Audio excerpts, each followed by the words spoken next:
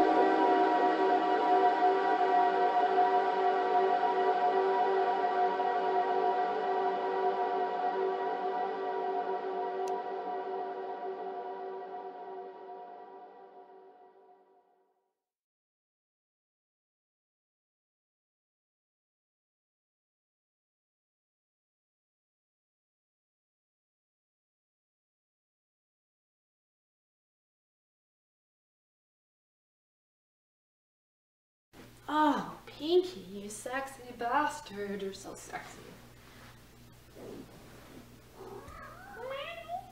Oh, my hands are cold. Is that why you're leaving?